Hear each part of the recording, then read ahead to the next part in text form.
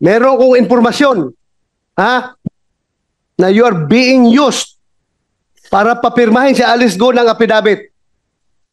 Apidabit na magtuturo na si President Duterte, si Senator Bongo, si Senator Bato, si General uh, si, si IDG,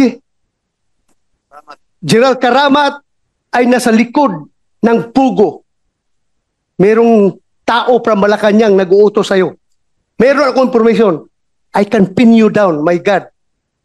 Good afternoon, sir. Sir, Yes. maybe just get your reaction on the uh, allegation of Senator Bato de la Rosa Hmm. that Malacanang uh, allegedly tapped a certain Mary Ann Maslog in an effort to link uh, former President Duterte. Who's Then, Mary Ann Masno? Uh, allegedly, uh, she, wa- uh, she was tapped by Malacanang to link uh, PRRD, former PRRD Senator Bongo and uh, Police Major General Caramat to Pogo-related crimes. No, I don't know anything about that. I don't know who this person is.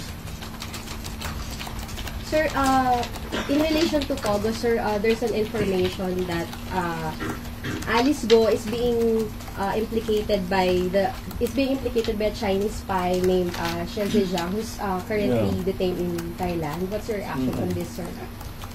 Well, uh, you know, as this process has been going on, more and more people are coming out of the woodwork to to to, to uh, help us in our investigations, and this is just, I think, another one of those.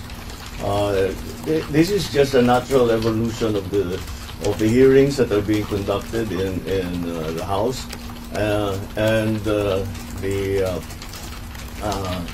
I suppose the the case build up because cases will be filed, uh, have been filed, and will be filed against them.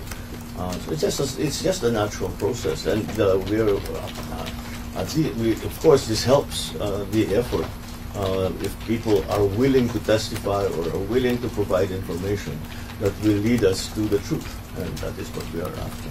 Sir, ano na lang po yung recent uh, efforts natin to address espionage, sir, sa Philippines? Well, maybe we shouldn't talk about what we are doing to address espionage. That would be sort of uh, that would be counterproductive.